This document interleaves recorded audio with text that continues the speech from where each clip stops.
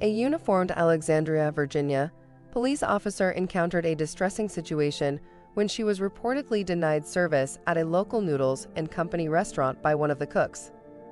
The female cook refused to serve the officer while she was in uniform, prompting the officer to leave the restaurant after a disrespectful encounter.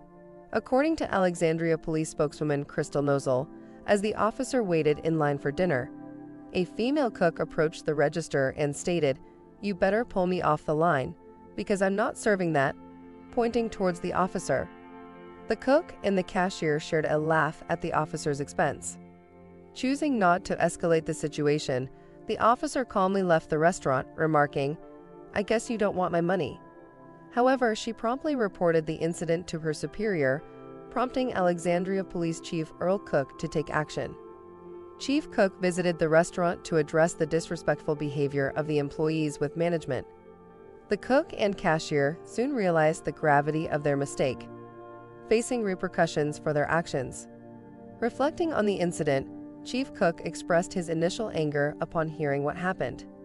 He emphasized the importance of respectful interactions, particularly in challenging times for police community relations. He noted that he believed his officer handled the situation admirably by choosing to disengage rather than escalate the confrontation. He expressed surprise that such an incident occurred in Alexandria, where there is typically a positive relationship between local law enforcement, businesses, and residents. Following the incident, the restaurant assured Chief Cook that they would conduct an investigation. Subsequently, management confirmed that the incident unfolded as described by the officer.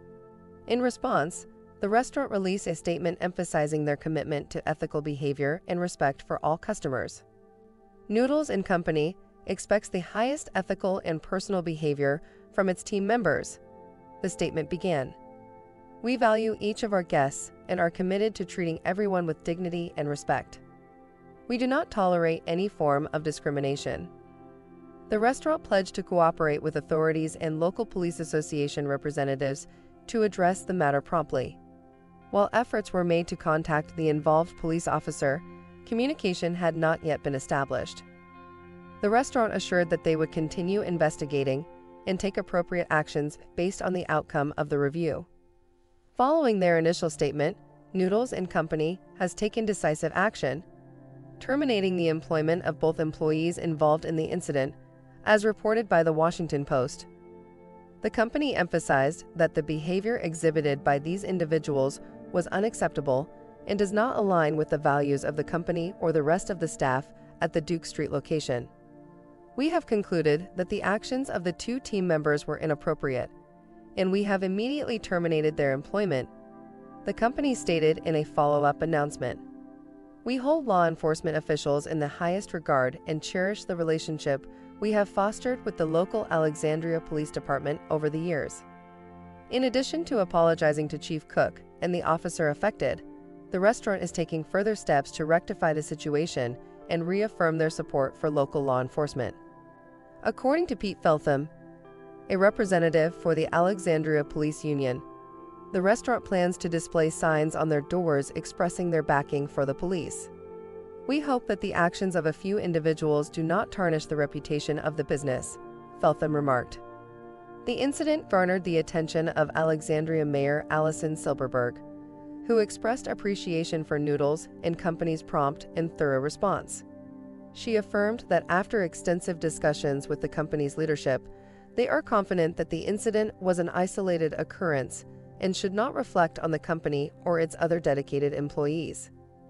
The Fox News article on the incident sparked outrage among many readers, with some drawing parallels to other instances of discrimination.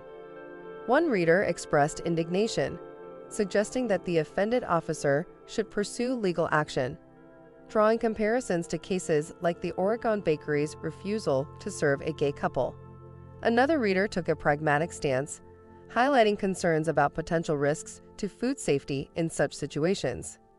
In either case, it underscores the troubling reality that individuals may face discrimination or apprehension simply because of their chosen profession. The notion that anyone should worry about the treatment they receive based on their career path, particularly in contexts as essential as food service, reflects a disheartening state of affairs.